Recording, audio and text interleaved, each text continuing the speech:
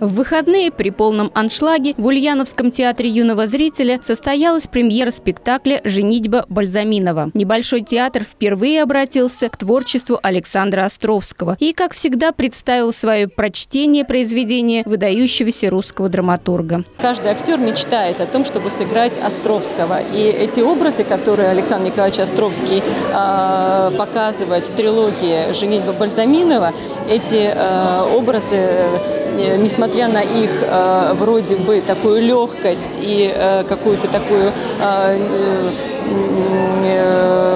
можно сказать, ну, масочность, они не такие простые, как кажется постановке каждый стремится к счастью, ищет лучшей жизни. Но у каждого персонажа свое представление о счастливой жизни. Главный герой Миша Бальзаминов не склонен к унынию, легко переходит от отчаяния к надежде, парит в мечтах. Он как на службу ходит за счастьем. К сожалению, такое искаженное представление о способах стать счастливым имеют многие наши современники. Поэтому произведения Островского, как и вся классика, не теряют своей актуальности. Ирина Антонова, новости Ульяновской правды.